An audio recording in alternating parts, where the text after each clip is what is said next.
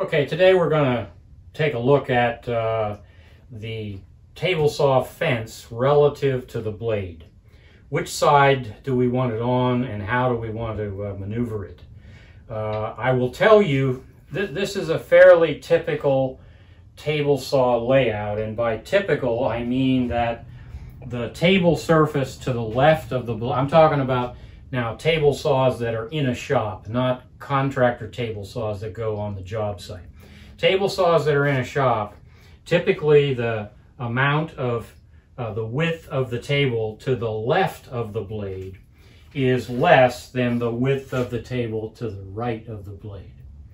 Uh, that's not always true, but in general that's true. And so that means that on this wide width here that we have to the right of the blade, I can move this fence out a long way. As a matter of fact, the fence right now is out 36 inches from the blade.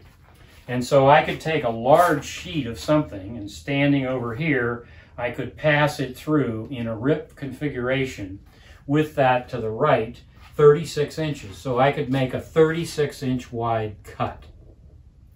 I could also do the same cut if I took this heavy, I might add, fence and put it over here. And you notice on this fence, I mean on this table saw, which is a fairly high-end uh, table saw, it even has a marker set of uh, ruler set over here in case you have the uh, the fence on the left-hand side or the shorter side of the blade.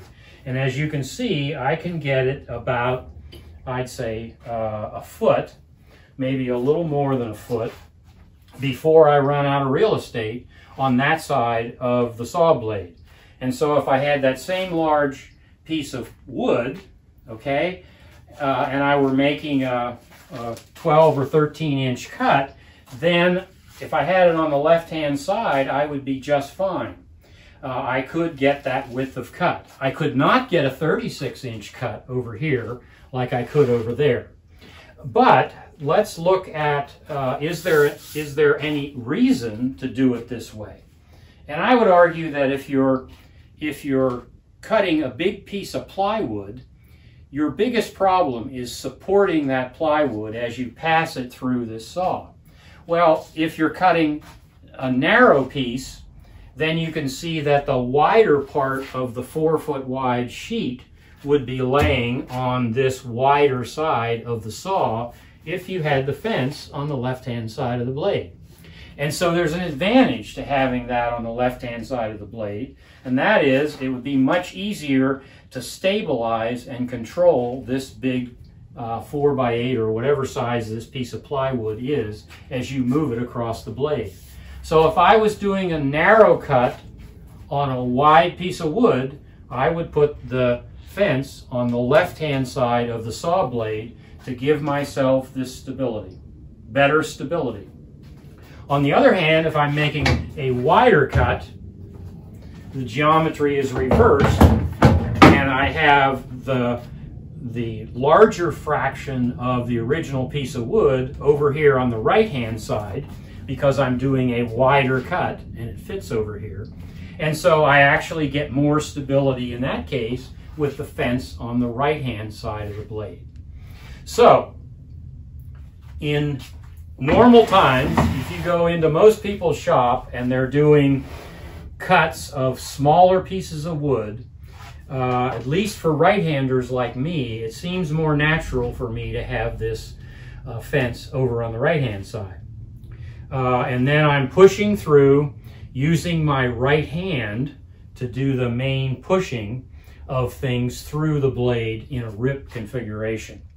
If, on the other hand, I'm left-handed and my dominant hand is my left hand, I might normally have this on the left-hand side so that it is my dominant left hand that's pushing through uh, the blade, pushing through the, the cut. So, for those of you who are right-handed, I put it on the right-hand side and see if that feels comfortable. For those of you who are left-handed, I try it on the left-hand side and see if that's comfortable. As far as safety and stability of the workpiece, you want the wider part of the table to support the wider piece of the workpiece. So if it's a narrow cut, you put the fence on the left-hand side and support the narrow over here and the wide over here. And if you're making a wide cut, you do exactly the opposite and put this on the right-hand side. So we hope that answers your question about where to place this and why. And uh, be sure and like the video. Uh, if, if you liked it, be sure and hit the like button and also subscribe so that we can keep you informed of future content.